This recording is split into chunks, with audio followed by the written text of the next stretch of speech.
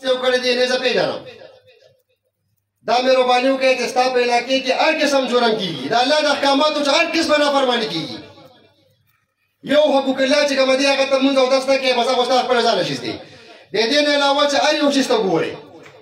منشیات دي سودخور دي لوفر لپنګار دي چې د کوته کینی بدمعاش دي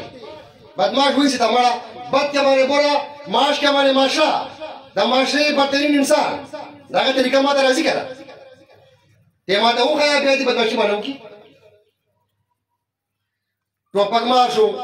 نور داسې یو سړی تنګي سپینګې تنګي ظالم دی منشیات پټ ورګي بل سکار کی کار کو نشان نشي کول سره بل هر قسم خپه دې مشرانو کې داسې مشرانو ته بچو کې پیسې اخلي تر اوسه پورې خو داسې مشه ماته کړ شوی نه دی خو ما یو دوه خبرې اورېدلې دي په زه ډون لګوم زه بغیر ثبوته چاته هم لاس نه اچوم چې تاسو پورې خبرې نو کو داسې مشه راته فټ شو چا په چرګه کې پیسې وړلې خدای راستي دې پرېږدم د دې رسول د پر زه مثال جوړوم مثال ان شاء الله دا مهرباني وکړئ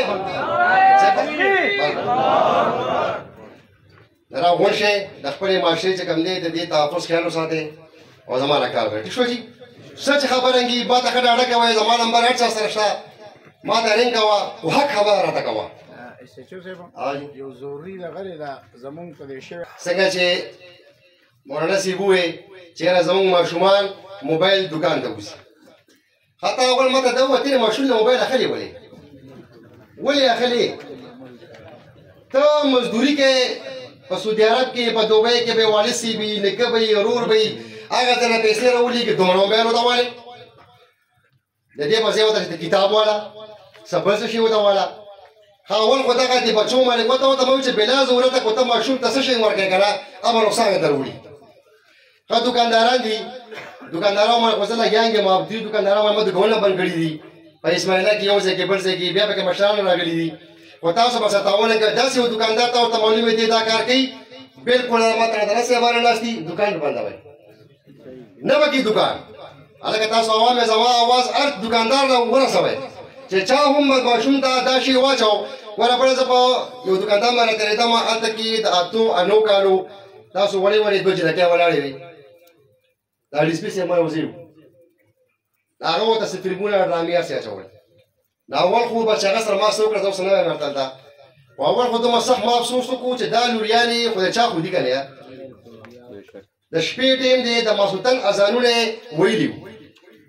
نمای دا اوس ابریږي چا دي دا خبيګا ما سره کان دغه ځکه په چارباغ کې لسري را سره راځي او وی راول ژړګانو لا خستا بچي د کور وزي د شپې د ته دومره تاسو ته کته تراړي خاص زی ونی سم ما پس په دنیا راغته یې رچې بس بیا ولې کې یو پرېږي دا مړ ته نه راته پتاش دلګه مهرباني وکړه په خپل بچو باندې کنټرول راولې د خپل بچو سره سختی وکړي وره چې سختی وسره نه کوي خدای راستي پر په دا وو او ګوره د دې چې څومره مال دې دا پتا پس کاونټ کی دې چې څومره غلطي نه کتاب پس بدرځي او اي څونه سبا داسې شي زوته دي چې هیڅ چاته نه ټوپک زورشته هیڅ ضرورت نشته بس په خپل یو بارود دي نه د ایسو والا خو چې په محله کې دی وکتو او ما ته د ټلیفون ورکو نه الله جل جلاله دې ستا ټول نسل چې کوم دی د شان تماشان کی نو مهرباني وکړئ ما ته ټلیفون کاوه چې پلان کې سړی چې آیس کینګ کرا دې باندې پرګه دی ورخه دې بازار سره خام خام مرګره پیدا کړي ورته او چې تاسو نشي کتنه چې بغیر ځان دې نه تماشا کوي دې بازار لازم من ستا بچي بدینه شي کوي ستا ورو بل شي کوي نو مهرباني وکړئ خبره نه وګیږي بیا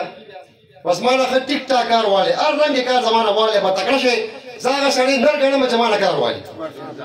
او په دې ودونو ما لکه سختي راوړې او دا یې جوړه کار